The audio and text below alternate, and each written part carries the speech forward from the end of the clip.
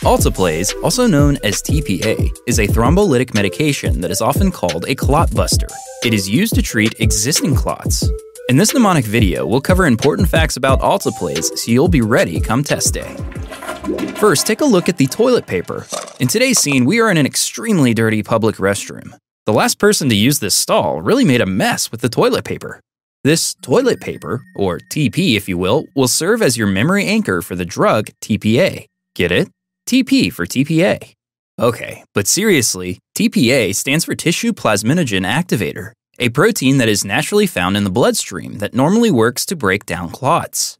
We can give synthetic versions of TPA as a medication, and these drugs are easily recognized by their teplase ending.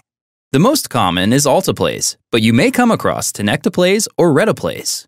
Just remember that the ending teplase also sounds like TP, and it'll be easy to remember that these drugs are related to TPA. Next, let's talk about what TPA is used for.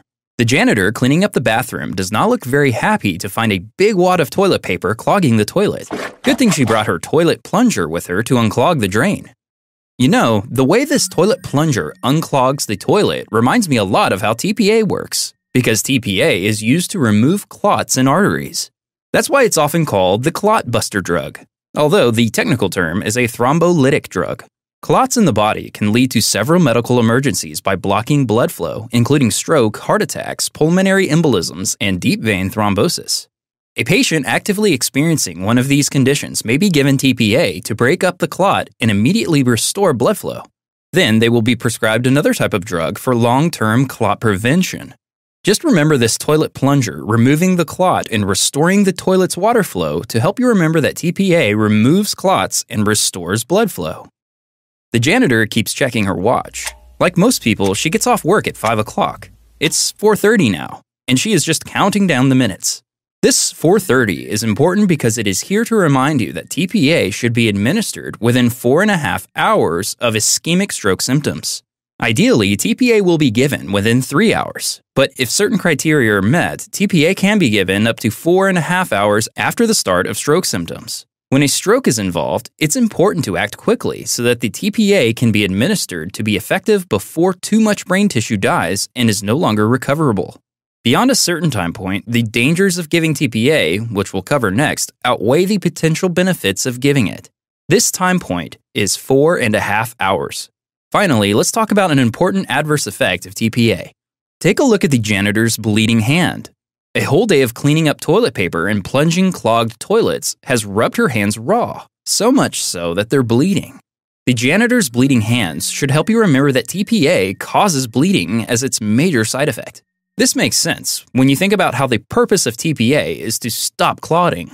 By stopping the body's clotting mechanism, TPA can cause patients to bleed profusely. For this reason, it is contraindicated in patients already at an increased risk for bleeding. This includes things like any medical history of bleeding, uncontrolled hypertension, or an aneurysm. Keep a close eye on the patient for signs of bleeding, such as a sudden drop in blood pressure. Alright, that's all for this mnemonic. Let's recap. Tissue plasminogen activator, or TPA for short, is a thrombolytic or clot busting protein that is also formulated as drugs ending in teplase, like alteplase.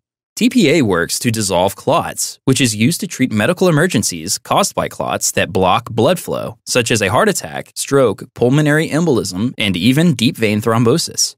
Clinically, TPA is often given in the setting of ischemic stroke, and in this context, it is important to administer the drug within four and a half hours from the start of the stroke symptoms. Beyond this time point, the dangers of giving TPA outweigh the potential benefits. One dangerous side effect to note is an increased risk for bleeding.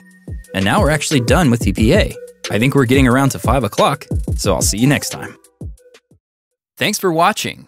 For more videos like this one, subscribe to our channel and check out our newest lessons. For more resources on this topic, including fact lists and interactive review images, click the image next to the More Here arrow.